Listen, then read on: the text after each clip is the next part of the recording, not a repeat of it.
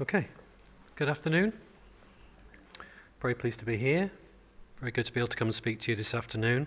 Great to see such a well attended event, um, as always. Um, and thanks for sticking around to the final session. So, my name's Andrew Harrison. Uh, I'm a neuropsychologist. Um, I've had the privilege of working with survivors of brain injury and their families for over 25 years in the voluntary sector initially, then in the NHS, and for the last 10 years in the private sector.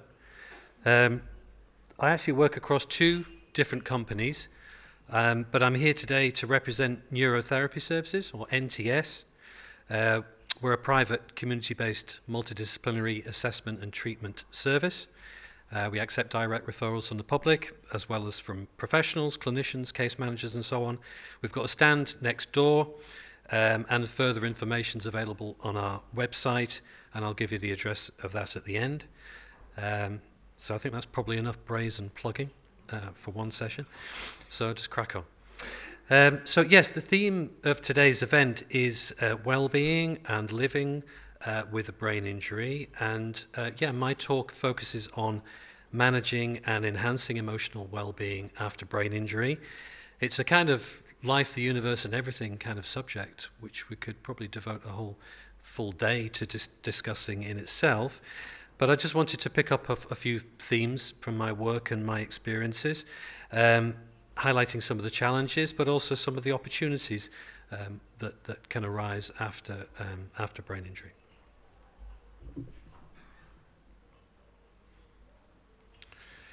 Okay, so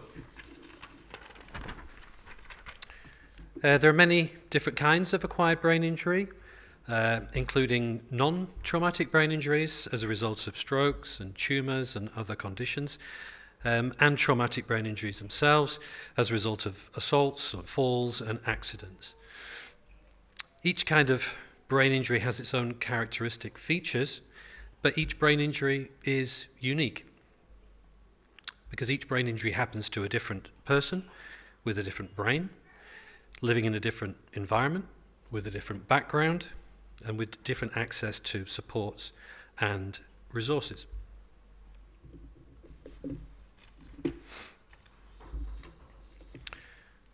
As you'll have heard about and may well be aware, most of you, traumatic brain injury is classified in terms of its severity, according to various key indicators. But there are significant individual differences at each of these severity levels.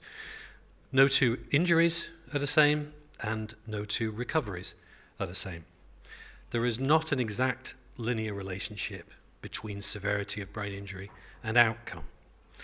Many people with what would be classified as a milder brain injury can report significant persisting cognitive and psychological problems, and some people who would be classified as having sustained a more moderate or severe traumatic brain injury can go on to defy expectation um, and make an incredible recovery.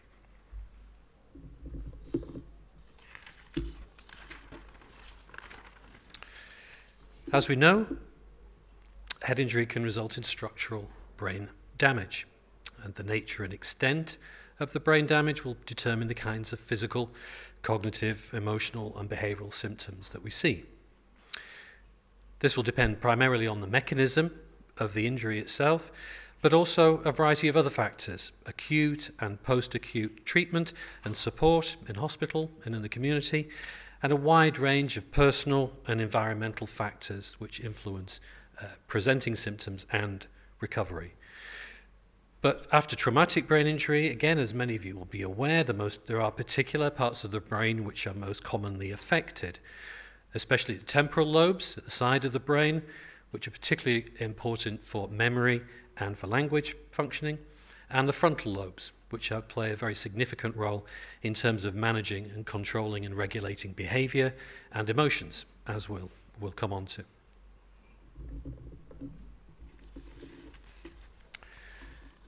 Again, as many of you will know, and many people will have experienced directly, the psychological impact of traumatic brain injury can be profound and life-changing.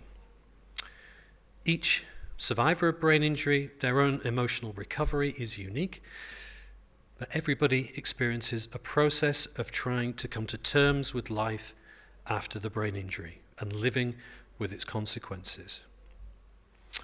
Emotional recovery, um, in my experience, best seen as a process, a process of adjustment and hopefully eventual acceptance, incorporating various stages or phases. Many people liken um, emotional recovery and emotional journey as being one of grief, feelings of anger, feelings of sadness, resentment, and then a sense of, well, if this is it, then we've just got to get on with it, really. Personal identity and changes in personal identity are also very important, and I see that a lot in, in my, my work about establishing a new post brain injury identity, but not being defined by the brain injury. So there's a difficult balance. The description of being still me, but different. There's an old me and there's a new me. How do I make sense of these? The important part of emotional recovery is, is understanding of and expect, expectations for recovery. And really, in the context of brain injury, the biggest question is what does recovery mean? Just like what does rehabilitation mean? Will I get better? And what does better mean? How much better? And what is better enough? You know, 98%, 70%, or 100%? And a sense of, well, is this it? Is this going to get any better? And often getting some fairly vague answers when the question's asked is this it? Am I going to get any better than this? There's also another theme which comes up um, a lot in my experience is about the trajectory of life. Everybody was on a path, everyone was on a journey before this injury intervened, and the extent to which this may have been altered by the brain, brain injury. So this incorporates things like roles, goals, but also values. What was and what is important to me. Where was I heading before the brain injury, and where am I heading now? Is it the same place or is it a different place? What do I want to achieve? What did I want to achieve, and how am I going to achieve it? What do I need to do in order to, to get there?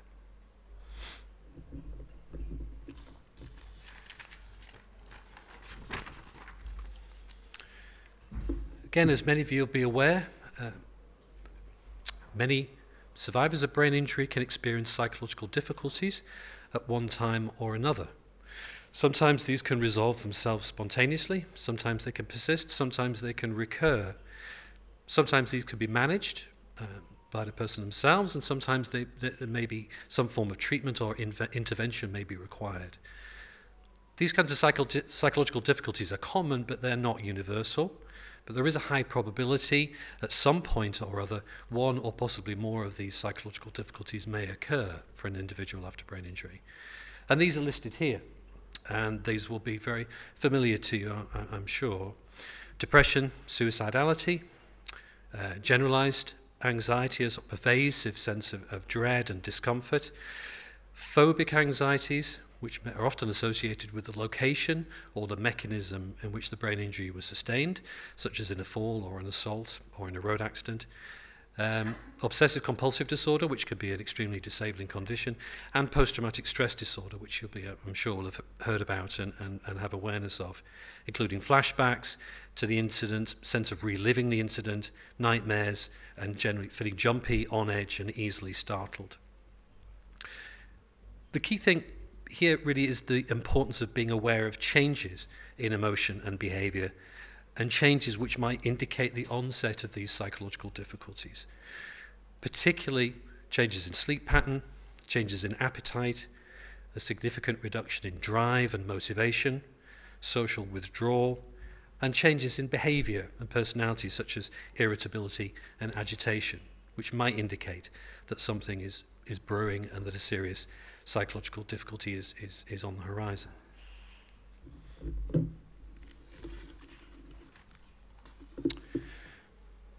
Also, in my experience, many survivors of brain injury also report significant and often very rapid changes in mood and emotion, which could be from day to day, hour to hour, or sometimes even minute to minute, which can feel very unsettling, very disturbing, and like being out of control and losing a sense of control over behavior and self. Often these are described as being like a, like a roller coaster of emotions and that it can be physically and mentally exhausting. This relates to difficulties regulating and controlling emotions and behavior so that things just, things just happen. Behavior just happens, can't, it can't be stopped until it's too late. Moods can swing, go from one, 0 to 100 in an instant, or like a switch has been flicked, and anger and temper outbursts. These sorts of changes, rapid changes in emotion and behavior, can have a significant impact on social and personal relationships, they can be very difficult for family and friends to predict what's going to happen in a given circumstance and know what to do, when to intervene or when to step back, what the best thing is to do.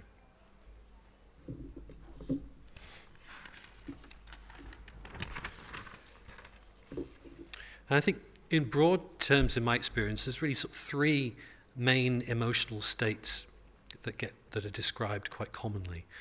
The first is a, a sense of just feeling down, feeling sad and upset about everything, uh, a characteristic state of feeling depressed, more emotional, distressed, tearful, feeling slowed down mentally and physically, withdrawing from people and activities, which is very important to try and counteract.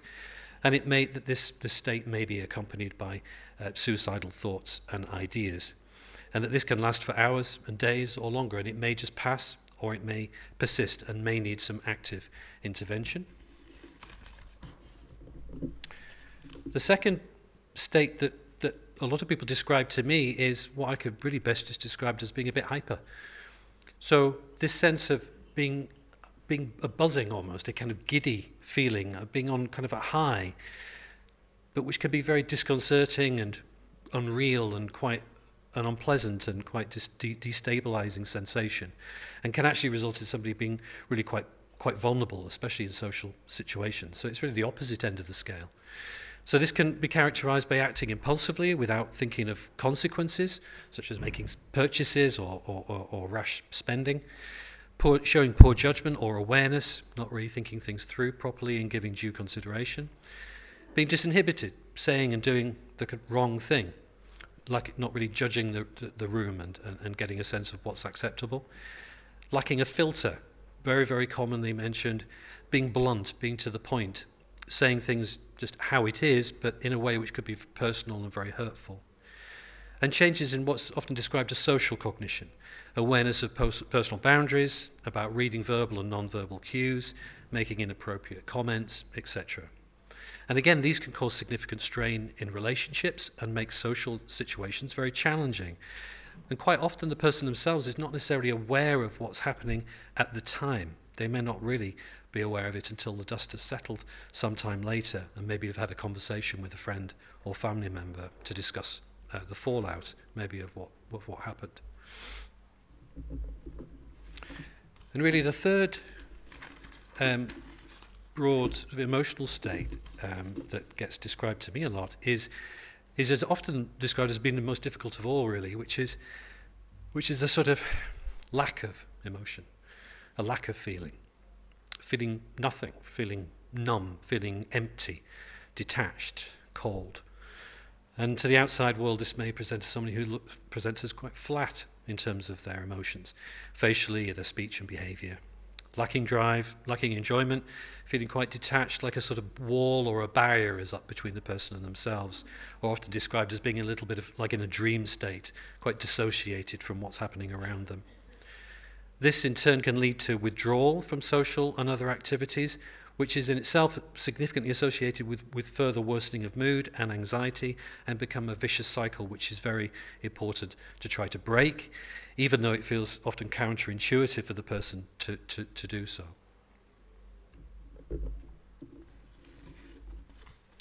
So all of these psychological and behavioral changes, um, and, and, particularly how emotion, how we feel and how we express our emotions, are likely to be directly influenced, directly affected by the brain injury itself. Of course, this is going to depend on the nature and the severity of the injury, um, but as already described, and as, as you'll, you'll, you'll be aware, damage to the frontal lobes of the brain and connected brain areas is very common after traumatic brain injury. And the frontal lobes have, a, have an extremely important uh, central role in our sense of self-awareness, our sense of social awareness, and our ability to regulate and moderate our emotions and behaviors. all of which significantly impact on our social behavior and also our interpersonal functioning, being able to maintain relationships and friendships. So these affect how we both how we experience or feel emotion, but also how we express emotions to others, either verbally or non-verbally. And very important in terms of, uh, uh, of addressing these changes is to understand for, for each person as an individual how the brain injury, the person's own brain injury, is influencing these, these different aspects of, of, uh, of recovery. As well as the brain injury itself, the sort of organic component, as it were, to emotions and behavior, there's also a very significant psychological component which is resulting primarily from the emotional impact of living with a brain injury and its effects on day to day living. Um, there are common themes in terms of, of, of emotion um, uh, emotional recovery, as I've described before, to do with grief and to do with loss. Um, but again, each, each emotional recovery, each emotional journey is unique to the individual. Fluctuations in emotion and behavior to, expect, to be expected, perfectly normal, but that these can slip into more significant mental health episodes.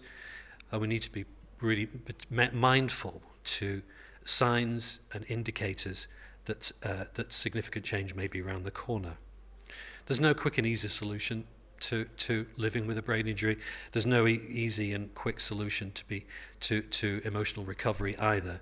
It's likely to be a long-term process, possibly lifelong. It's one of adjustment and acceptance so that the individual can live with the brain injury and with the consequences of the brain injury rather than fighting um, against it.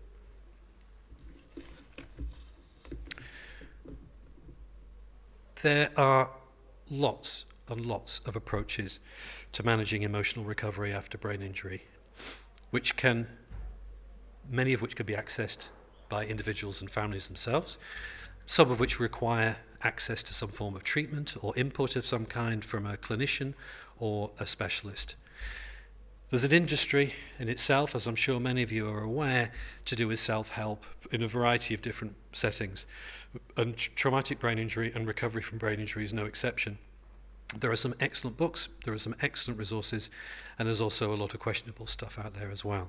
So it can, it's, it, it's important to choose the resources very carefully. Relaxation and mindful mindfulness techniques, are, are, again, can be accessed, and, and a lot of people find those extremely helpful. What's also important is, is to ensure that the foundations of health and well-being are also addressed.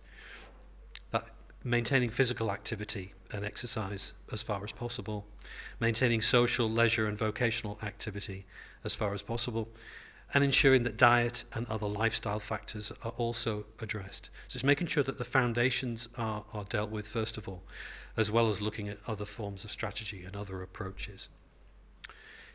Clearly, alternative therapies and treatments are also available, um, which, which, so, which for some individuals prove to, to have a very profound effect and for others less so. Um, there's also counselling and psychological therapy, of course, and again, which, which for some people find extremely helpful and others less so.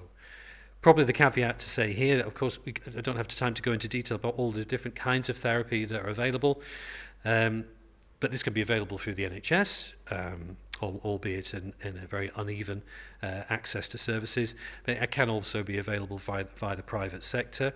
The most important thing is to ensure that the provider is suitably accredited and suitably experienced. So especially looking for HCPC registration, but also that the person has particular skills and expertise in working with in individuals after brain injury is, is particularly important.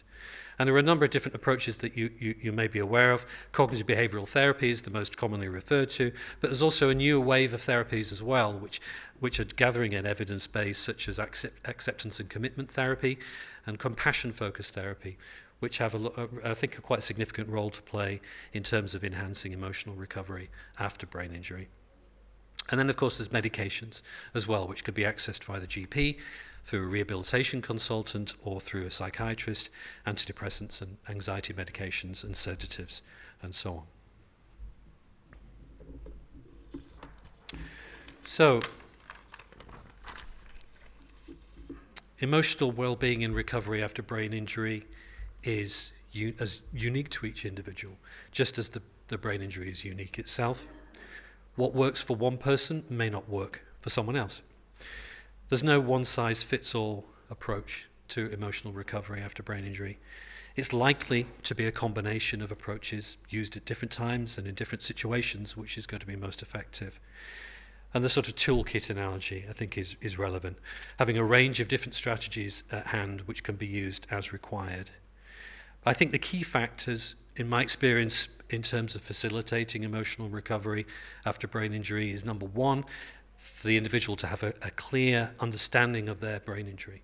What happened, the mechanisms and the effects on the brain, and how this is likely to impact on day to day functioning. To develop a better understanding of their emotions and behaviors and signs that all may not be well and that something may need to be addressed. Developing a sense of personal control over emotion and behavior by actively applying strategies and approaches which can make a difference. And acknowledging when we need help, which can, of course, be one of the most difficult things to identify and one of the most difficult steps to take. And then, after doing that, taking advice on board and being able to apply it. So a lot of treatments and interventions will provide um, different approaches, different resources, different suggestions, but then the application of that in day-to-day life can be particularly challenging. And sometimes the medicine is difficult uh, to take as well. So taking advice can be hard, and sometimes it can be the, the question of timing as much uh, as what the advice actually is and who it's coming from. We also, I think it's important in my experience to look at moderating expectation as well. That doesn't, that doesn't mean waving a white flag or giving up.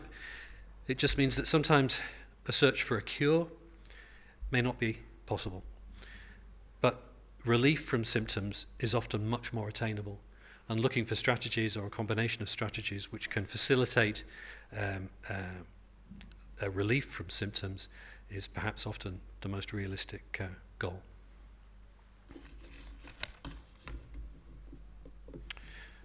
So, in terms of resources, um, this is barely scratches the surface, and this is just really for reference for, for, for the, the slides are available on the web on the website. Um, I'm not going to go through this in, in, in, in, in detail, but just to say there is a lot of, of, of good resources that are available out there. I put my email address on, on the end as well, so if anybody does want to get in touch and if there are any resources um, uh, want to discuss that, then, then do get, get in touch. But um, I think the importance is, is accessing different formats. So podcasts, um, apps, um, as well as written materials and websites. Headway um, website, I'm sure many of you will be aware of, has some excellent leaflets and, and, and information and resources. Um, the Get Self Help website as well is very helpful.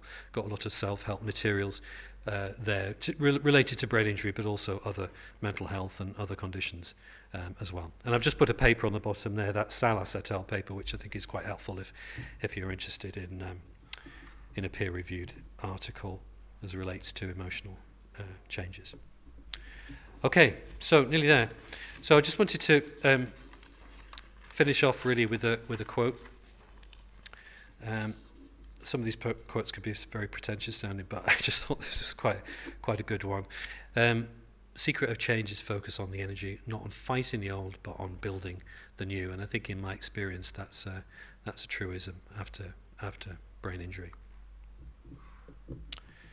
Okay, so that is me. So thanks very much for hanging in there. Thanks for listening.